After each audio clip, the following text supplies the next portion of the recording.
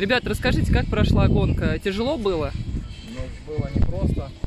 Э, Сделали хороший старт, перешли и своей работой, как, как мы всегда ходим, как в прошлые года.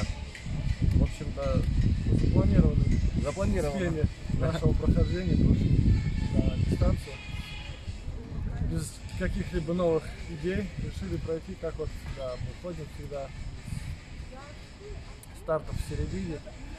Старт прокатили хорошо и немножечко на финиш добавили.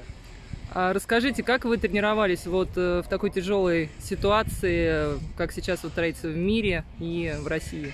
Тяжело. На каждую тренировку приходилось настраиваться эмоционально, психологически. Потому что не знаешь, к чему готовить. Будут какие-то международные соревнования, не будет.